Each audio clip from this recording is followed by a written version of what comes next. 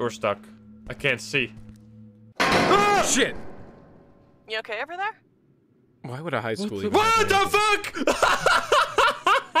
what the fuck? I missed it. class.